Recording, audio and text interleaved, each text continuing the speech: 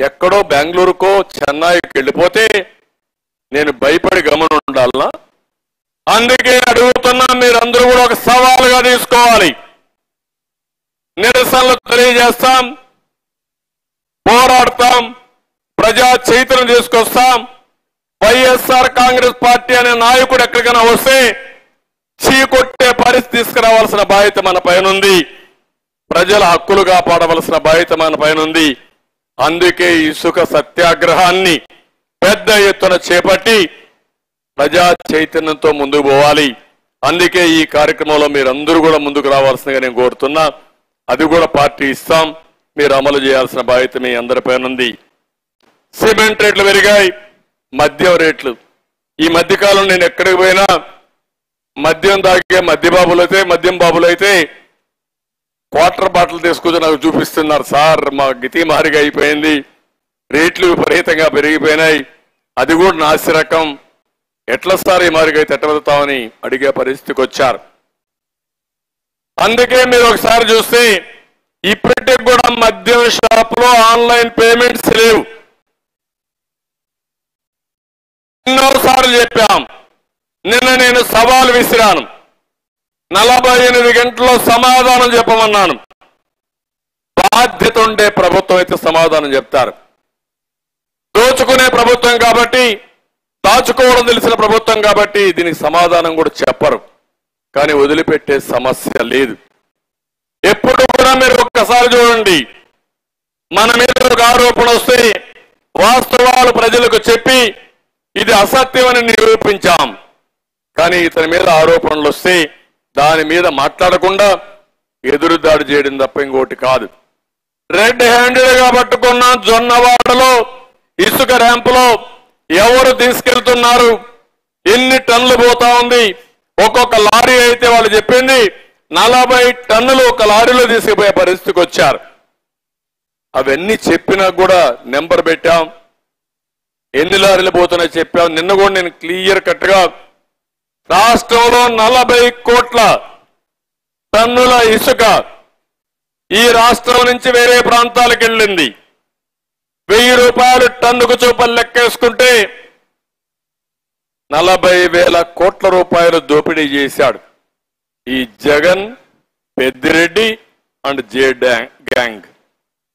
వీళ్ళు ముగ్గురు కలిసి ఇంత దోచుకుంటే పేదవాళ్ళ రక్తాన్ని పీల్చి ఇష్టానుసారంగా ముందుకు పోయినా మనం మాట్లాడకూడదనే పరిస్థితికి వచ్చారు.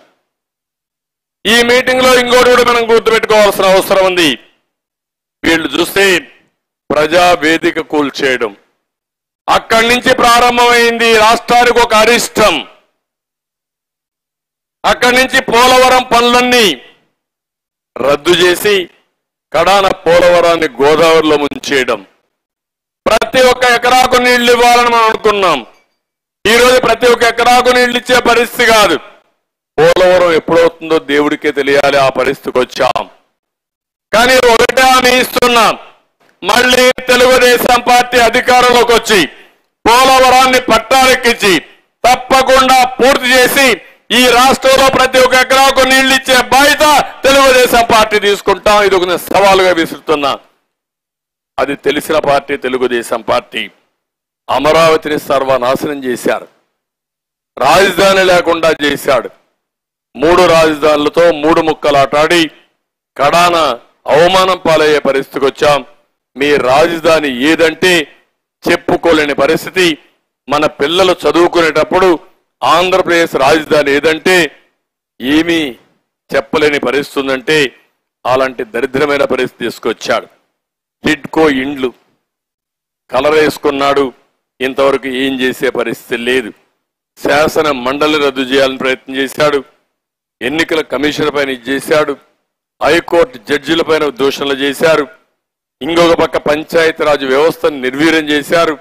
ఫైనాన్స్ కమిషన్ ఇచ్చిన డబ్బులన్నీ కూడా వీళ్ళు డైవర్ట్ చేసుకునే పరిస్థితి వచ్చారు.